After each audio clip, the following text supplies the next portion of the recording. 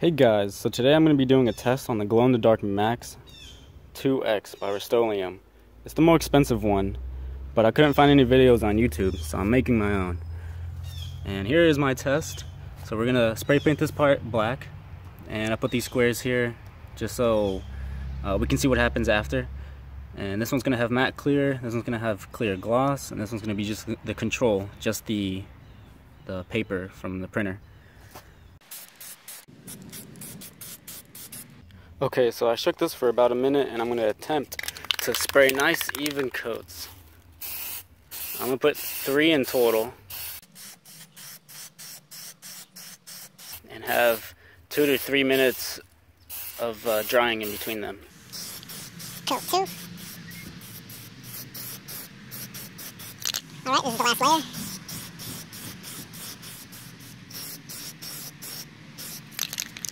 So now that I finished spraying it with glow-in-the-dark Rust-Oleum, I wanted to see how clear gloss and matte gloss affected it when putting the layer on top of it.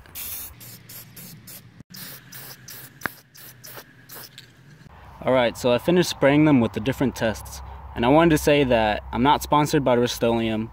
Uh, I just use their products frequently, and I saw this one. It was expensive, and I couldn't find any videos on YouTube on how well it worked. So I was hoping to make this one for anyone else who wanted to use it. Alright, so it's been about five minutes. Let's see what the results are. There you go. It actually does glow. The glass clear and the matte clear didn't really seem to affect it at all. They look about the same for the control. The dark, yeah, it really doesn't work too well. Let's see what it looks like from far away. So stepping away slowly. Yeah, this would not be safe to have if you were riding a bike or something. It's not very visible. It's right over there. I'm gonna try charging it up for 15 minutes, see if that makes any difference. So here's the paper after 15 minutes of charging. It's pretty bright. I'm gonna put it against the wall and see what it looks like from far away.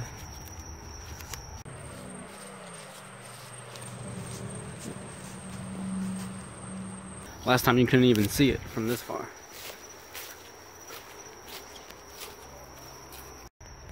So this is what it looks like after 10 minutes of just waiting. The can says it's supposed to last 4 to 8 hours and it's supposed to look something like that in the picture. I don't know.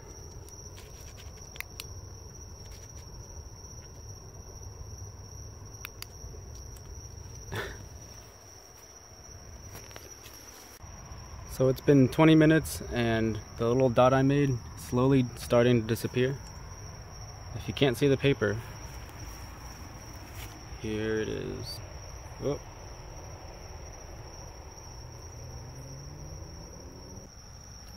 While playing around with it, I've noticed it comes off very easily.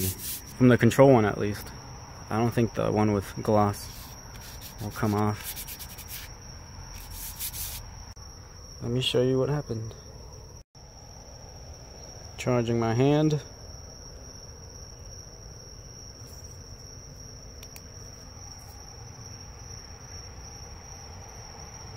That was just from rubbing it. it. Comes off very easily. So it's been about an hour and 20 minutes and now it doesn't even glow at all. I'm gonna do the scratching test real quick again. Can't really see anything. Now, if I just scratch on the control or the matte black, it should take away a lot of the glow in the dark spray paint. Yeah. It's very strange.